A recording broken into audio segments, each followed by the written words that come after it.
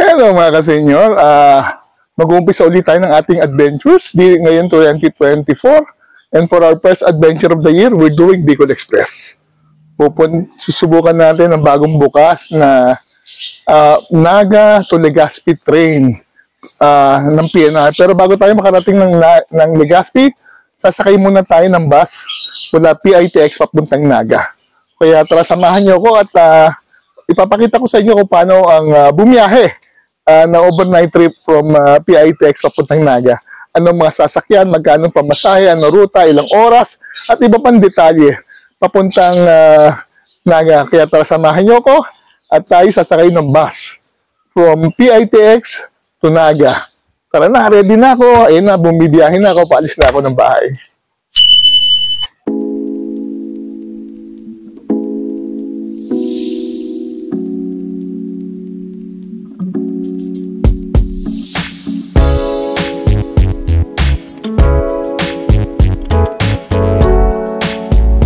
Arrived at PITX at dito tayo sasakay ng bus papuntang Bicol.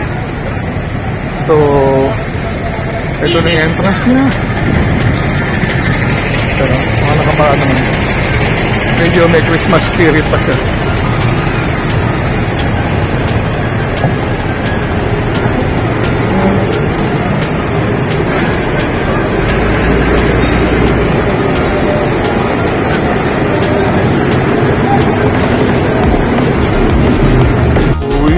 The ITX. May mga information naman yan about where to go.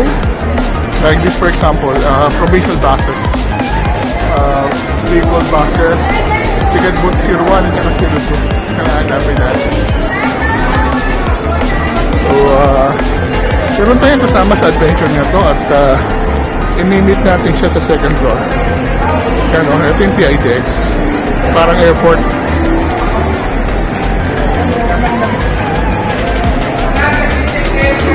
uh, advantage ito, maraming pwedeng kainan, no?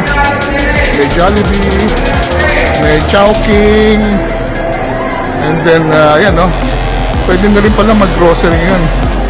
Merong Robinson's Easy Mart. So, okay tayo sa taas.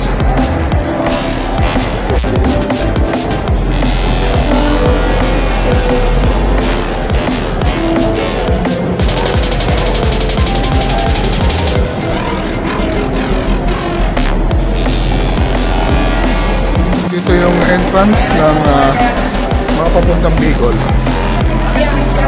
So, ito yung mga ibang pwedeng uh, sakyan ng mga bus companies papuntang Bicol. Hindi na lang kayo kung ano available.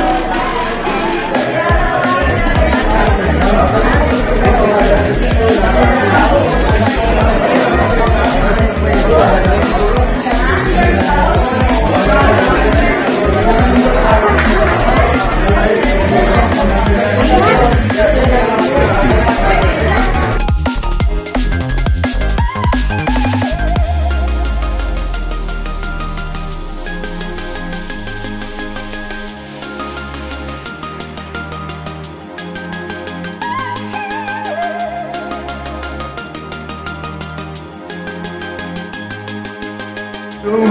bilihan ng ticket. Ang dami na. Uh, basta weekdays, uh, hindi masyado mahaba pila. Pero pag weekend dito, Friday na, grabe pila dito. Kaya nag-walk-in lang tayo. Otherwise, kung weekend, kailangan natin magpa-reserva. Tayo sa DLTV. Subukan natin. Ito yung mga schedules nila. Yan. Kuha natin ticket ay 6pm pero direct yung uh, Sorsogon. Yan. Uh, hindi natin alam kung papasok ng terminal pero malapit lang naman daw. Baka titigil siyempre ng naga. Yan. Pag ito namang oras, pag weekday, madaling kumuha ng uh, mag-walk-in. Pag ng weekend, ang mahirap. Boarding pass. Yan, so tayo ng boarding pass.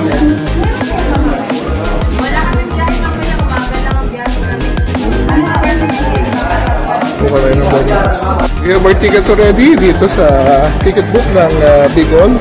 Ang next natin siguro, either magpapahinga pa tayo dahil 6pm ang ating ano, uh, alis or uh, kain to ya, ta siguro tayo. O, nagutom tayo. Nakabili na naman tayo ng ticket kaya early dinner tayo dito sa McDonald's bago tayo pumunta sa boarding uh, gate. Sa airport din siya, ina-announce yung mga uh, at departure ng mga buses. O. Ang sa na 6 p.m., wala pa yata dyan. Uh, susugon pero mababa tayo ng Naga. So ito naman yung mga buses ng Cavite. Yan, medyo may pila. Pag itong oras, mahaba na pila. So, nagkakalituhan ng gate. Gate 2, gate 4 rin natin alam kung saan gate tayo. Mukha naman, hindi naman ito yun. Baka ito nga. Grabe oh. Ito yung uh, boarding gate niya. Mukhang ito nga. Uh, ang daming mga bagahe. Mukhang ito nga yung biyaheng uh, Bicol. Yan oh.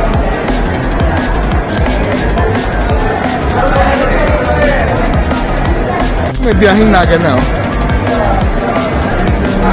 Katabi ng Tagaytay. Ito na yung biyahe natin. Sa hindi 6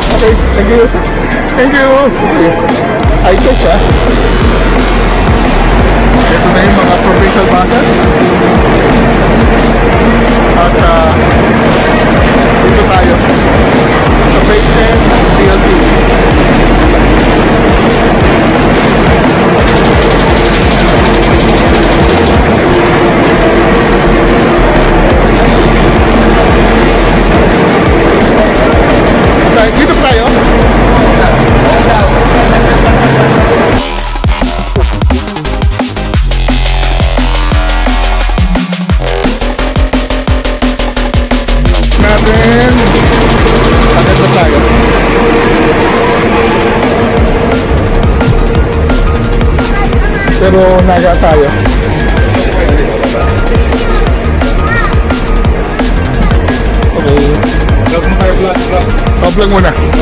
Sigurado bang na- makakarating yan? naga kami kuya, naga.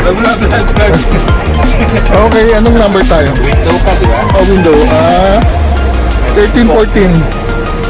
Check mo natin yung Bell TV. Ah, ano yun? ba? Ilang beses ko na bilag ang BLT? 1314. 14 Okay, dito ako. Meron ba ano yan? May saksakan? So, uh, nandito na tayo. Pauwi na tayo. We're going to uh, Naga. Uh, hopefully, we'll be there in 10 hours. Less than 10 hours. Or tayo bababa. Depende dahil uh, siyempre pa, paglabas sa Manila medyo matraffic. Ah, okay lang naman itong ano, TLTV. Ah, maganda yung upuan. Kasi walang, walang, USB sa akin. walang USB sa akin. Medyo po lang. Kaya tingnan natin. Sana magaling yung driver. At uh, we can arrive in uh, Naga very safely. Bas natin. Oh, okay, maganda naman yung ano. Mga ilaw-ilaw.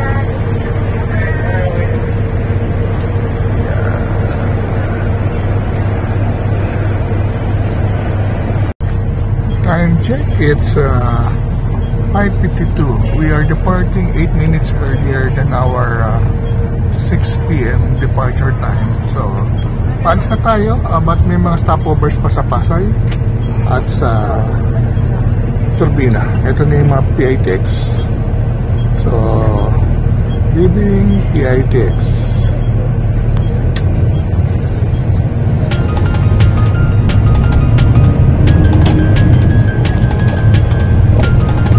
Parang airport.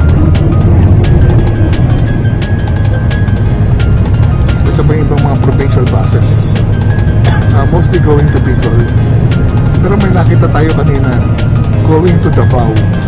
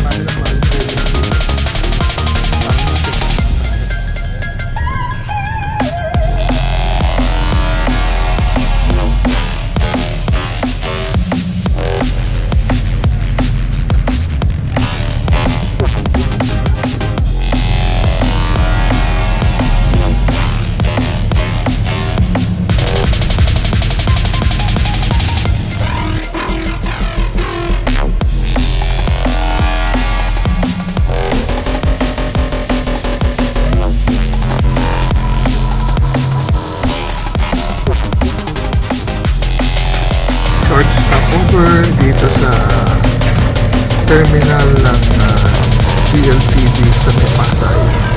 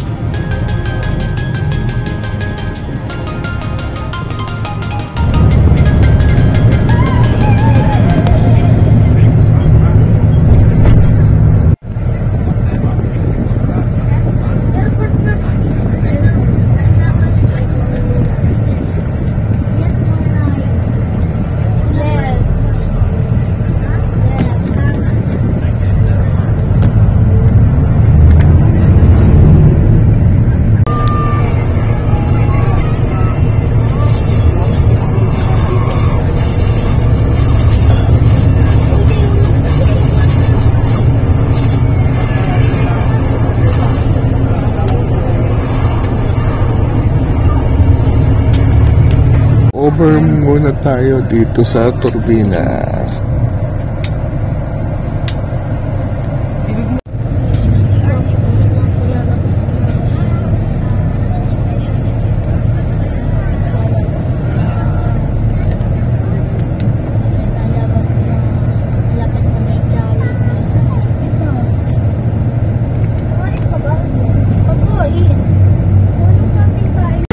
It's a short stopover sa turbina. The time check is 7.45. It took us an hour 45 minutes bago tayo makalabas ng Metro Manila.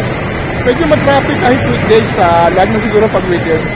Uh, after this siguro, uh, dire-diretso na yung biyahe natin. Hopefully makakatulog tayo bago magkaroon ng next stop. Ganun lang, breakfast muna tayo. At uh, not sure kung may makakabili tayo pagkain dito. But uh, siguro, huwag na, huwag na dito sa ibang area na lang. Medyo busog pa tayo sa pagkain natin sa may McDonald's.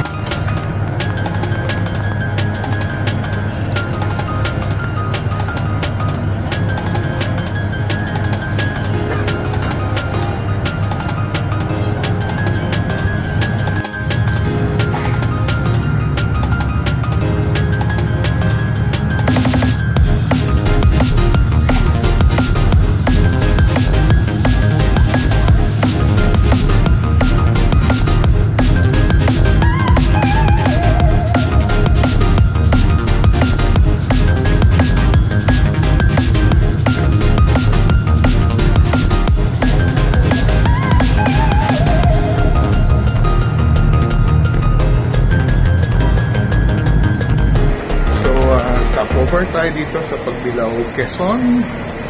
Nagsiya tayo, 10 piso bayad. Nagulat ako ha. Ah, parang company owned pero you have to pay 10 pesos. Sana ang BOT niyan, Department of Tourism, dapat inaayos yung mga ganito. Kaya tingnan natin kung mga pwedeng dining dito.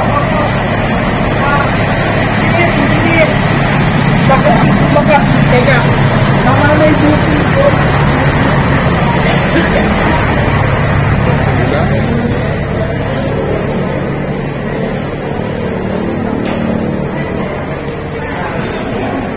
Ah, may lugaw.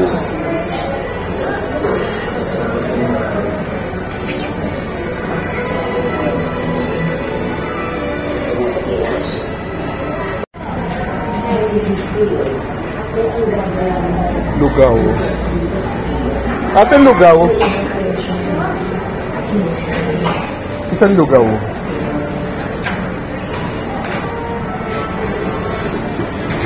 Uy. Laki naman yan eh. Mainit-init. May apoy pa po ko yan. Ha? May apoy sa ilan. May apoy sa ilalim. okay. Nakasalan ko yun sa kanan. Ah, okay. Kaya sinawala. Ah, magka, magkano to? 50 po. 50.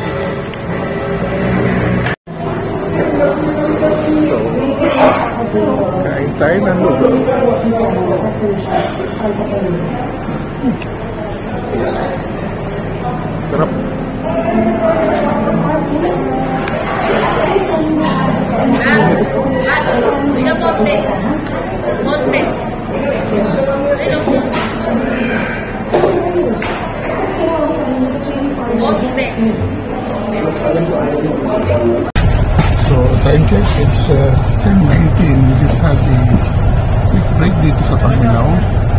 PCR. Uh, bali 10 pesos. Then, kumain tayo ng uh, lugaw. 50 pesos. Okay naman yung lugaw. Mainit siya. And then, dito pala nagpapagas. Dito lang ako sa property owned by uh, DNTV. So, dito lang siya ng TV. After this, siguro diretso eh. Sinabi ko lang pag next stop ko. Hopefully, we arrive in uh, Naga before by 4 a.m. After this, tulog na ulit tayo. Hindi nakatulog tayo ng konti. So, break.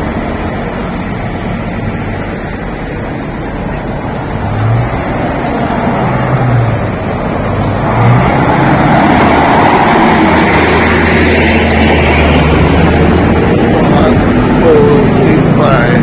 Yung mga nagkakapi na dito.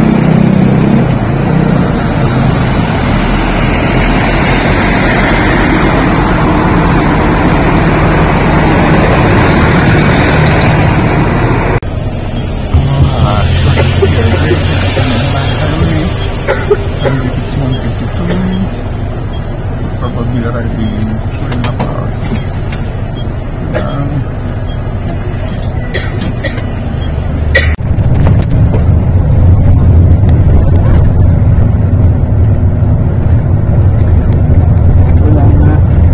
Or last stopover uh, dito sa Pamplona. Siguro darating tayo ng uh, Naga mga 5 a.m. May time pa tayo para punta sa train station. Hindi na tayo sumaba. We are arriving in Naga. Time check, it's Ah, taho po, 5.08. taho! 5.08. Taho! Ayun na nga, Ferrero Cardo. Kaya saan ka kayo ng tricycle? Sa Sakay. Okay, saan saan? Doon po sa may, may donut. Okay, thank you. Dito tayo sa Naga Station. Tayo tayo yung tricycle papuntang train station.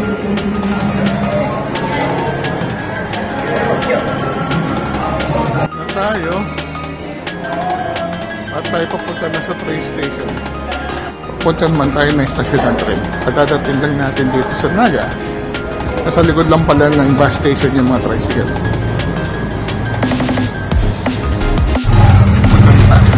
Kaya magkano ka doon? So, magkano? Ha? Ano ba alam? Lagi pwede. Magkano kaya? Oh, sa so, biyahe na? Ha? Biyahe? Ha? Anong biyahe? Anong tatlong biyahe? Apat na pasero? Kung magkano wala? 50. Ah, 50 lahat.